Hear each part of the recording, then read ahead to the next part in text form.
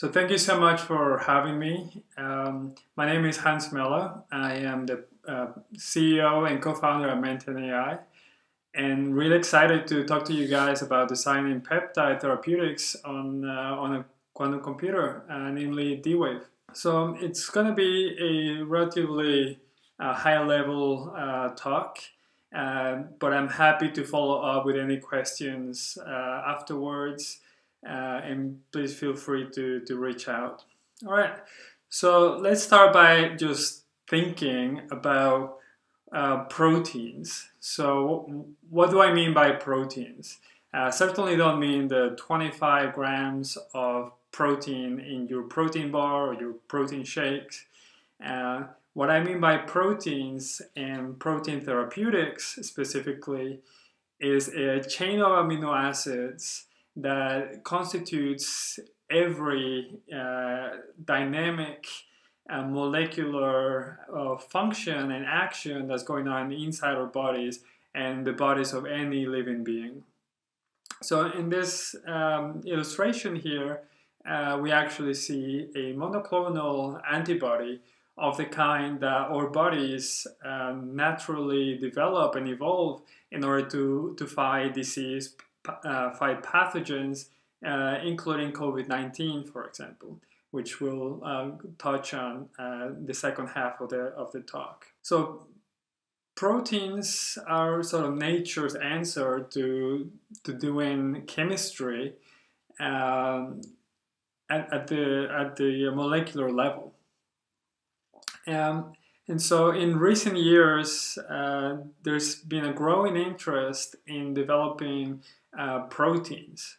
Uh, so if you look at the drug industry, uh, seven or eight uh, of the top 10 best-selling drugs today are in fact proteins, and the number just keeps growing.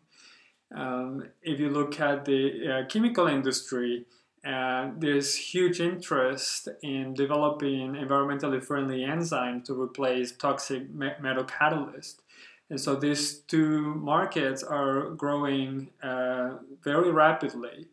Uh, and there is more pressure than ever to develop better proteins. Uh, now, the challenge is that the space of proteins uh, is uh, astronomical.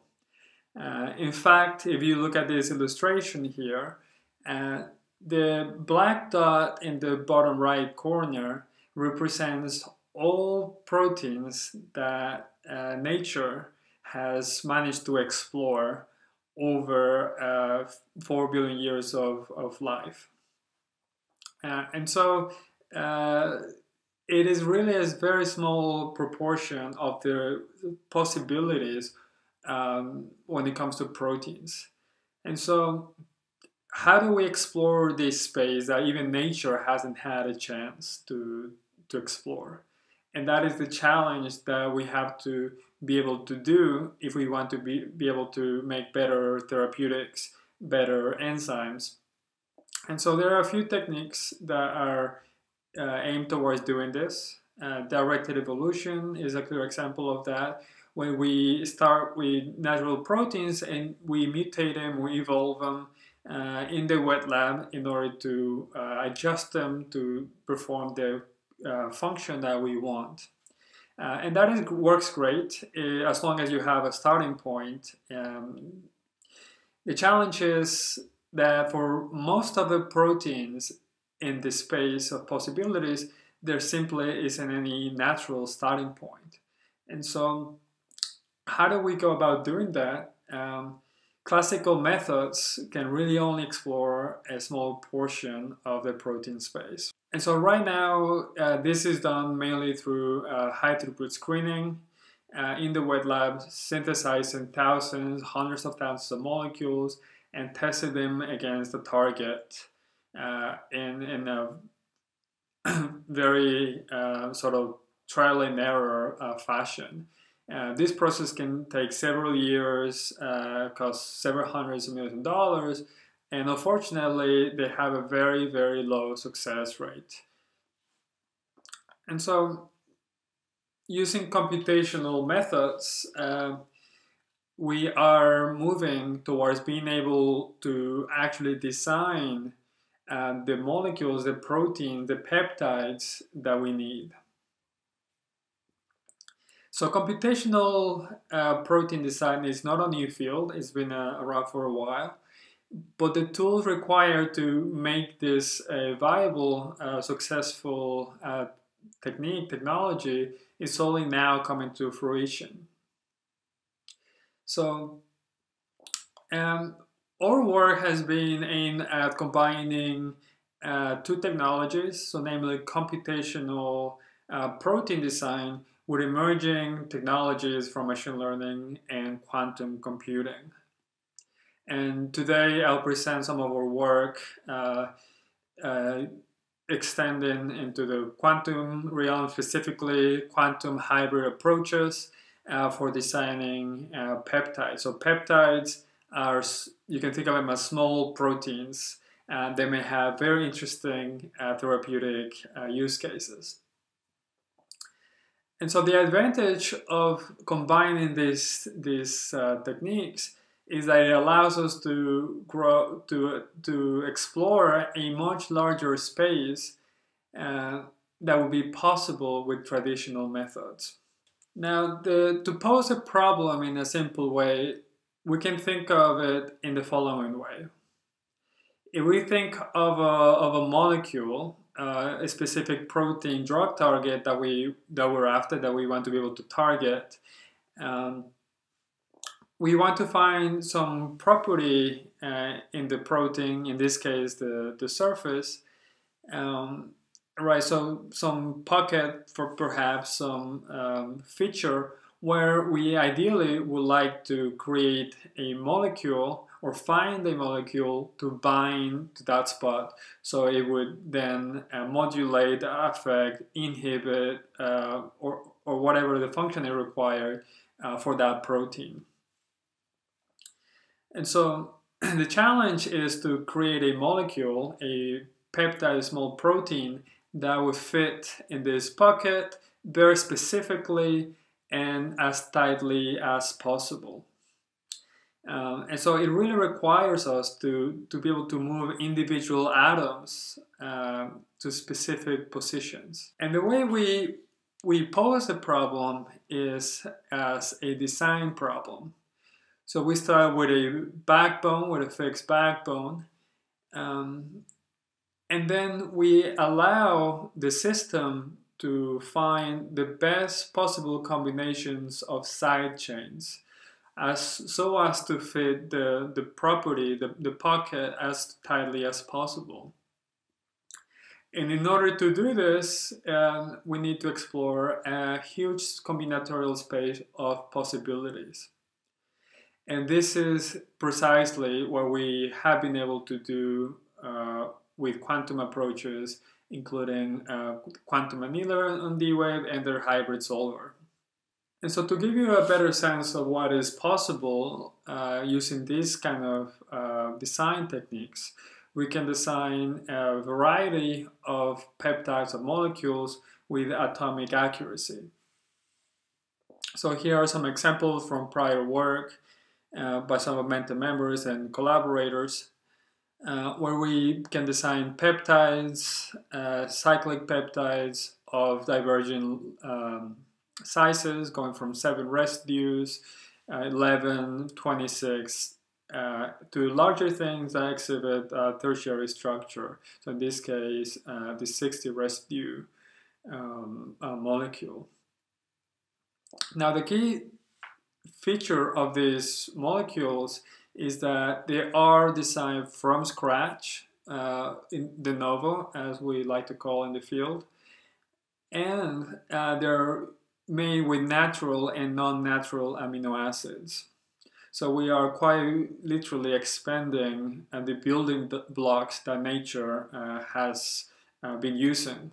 And so some of our earlier work um, using the, the quantum or quantum solver um, were uh, aimed at really trying to understand whether we can map this problem uh, to the quantum computer, to the quantum realm, and then whether we could actually solve this this problem, design these molecules, real molecules, and take them to the lab. And so here are some examples of our earlier work um, where we were able to, to do that. And most recently, um, we realized that one particular use case for this is developing um, anti antiviral um, binders. So we we had a, a, program where we have been creating peptides to bind to the glycoprotein of, of SARS-CoV-2, the COVID-19 virus. And then we realized that we could actually begin to tackle this problem using D-Wave's hybrid solver. And so to give you a sense of what this means, uh, what you see on the screen now is the, the spike protein of the SARS-CoV-2 virus. Uh, and if we are to, to clean this up a little bit, uh, you can see that here in purple would be the ACE2 receptor that it binds to on a human cell. Uh, and that is the mechanism through which uh, the virus infects uh, human cells.